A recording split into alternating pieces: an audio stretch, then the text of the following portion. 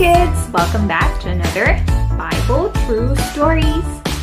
Today, our story is from the Song of Solomon and it's called Raisin Cakes. Song of Solomon, chapter 2, verse 5. Sustain me with raisin cakes.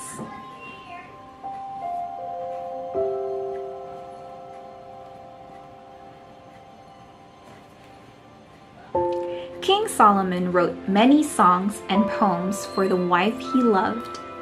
He knew that his marriage vows were very serious and that lasting love requires a little work.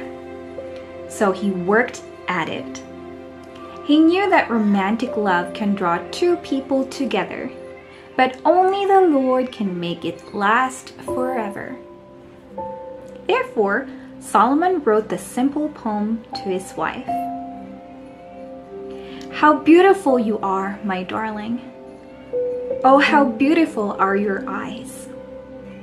You are like a lily among thorns compared to other girls. Strengthen me with raisin cakes.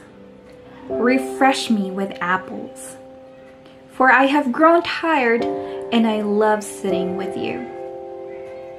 How beautiful you are, my darling.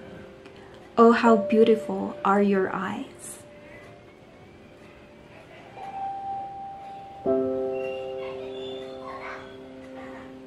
Our Bible truth for today is The Lord will sustain me. Again, kids, the Lord will sustain me.